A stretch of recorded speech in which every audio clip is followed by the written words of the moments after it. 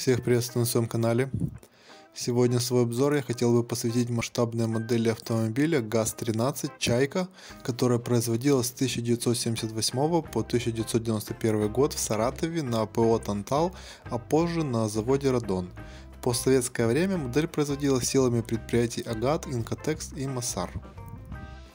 Данная масштабная модель была копией реального представительского легкового автомобиля ГАЗ-13 «Чайка», выпускавшегося малой серии на Горьковском автомобильном заводе с 1959 по 1981 год.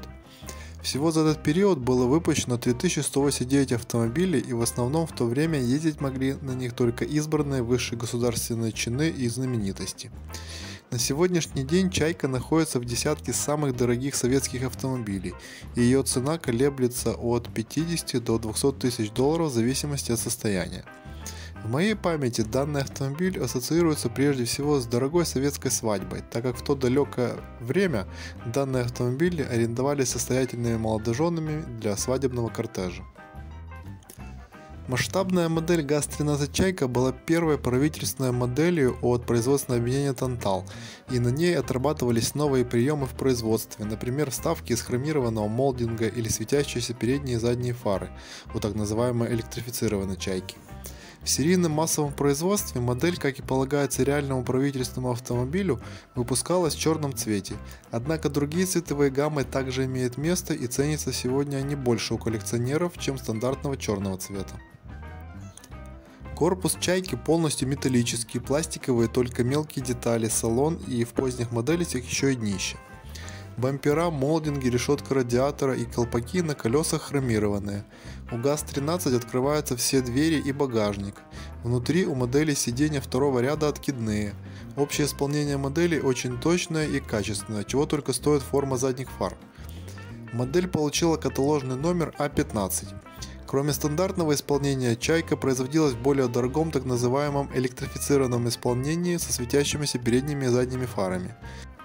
В стандартном массовом исполнении ГАЗ-13 имеет черный кузов, металлическое или пластиковое днище, белый пластик внутри салона, а также обычное хромирование пластиковых частей.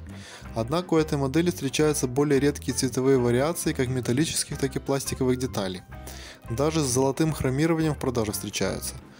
Были ли это пробные партии или все-таки результат единичного творчества заводских умельцев, точно неизвестно.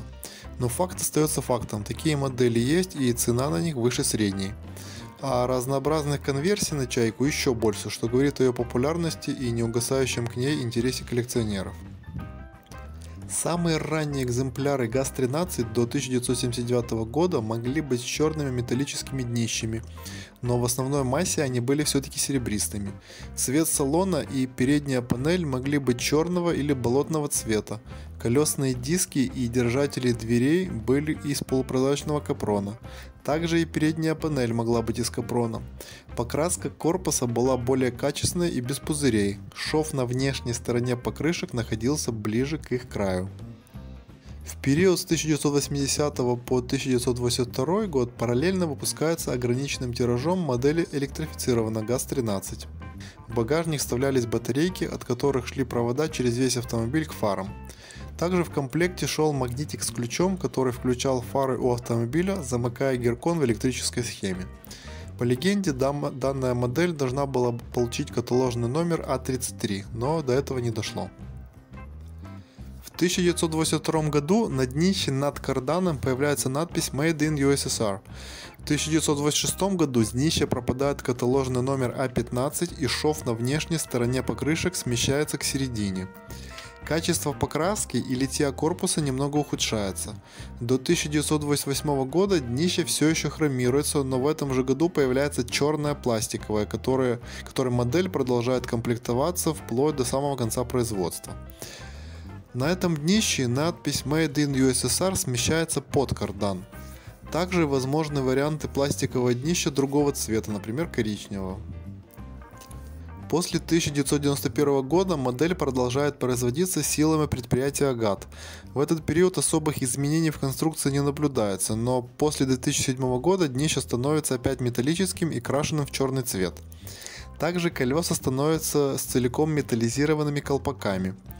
Цвет корпуса и пластиковых деталей в этот период может уже более быть разнообразным. Также встречается двухцветный, более детализированный вариант ГАЗ-13 от завода Агат.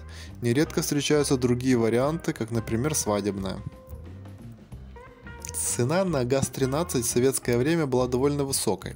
Стандартный вариант стоил 9 рублей 40 копеек, с олимпийской символикой 12 рублей 20 копеек, а электрифицированный 19 рублей 50 копеек, что было рекордом среди масштабных моделей того периода.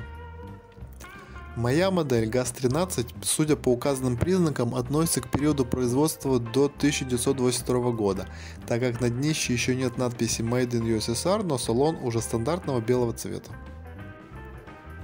Коробок на эту модель могло быть два варианта. Стандартная красная с рисунком модели на задней части и синяя для электрифицированного варианта.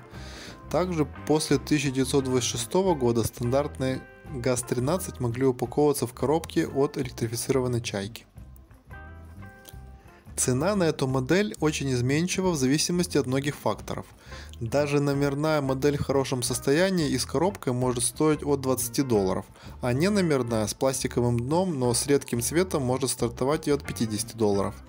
Цена на модель с олимпийской символики доходит до 150 долларов, а на электрифицированную может и до 400 долларов доходить.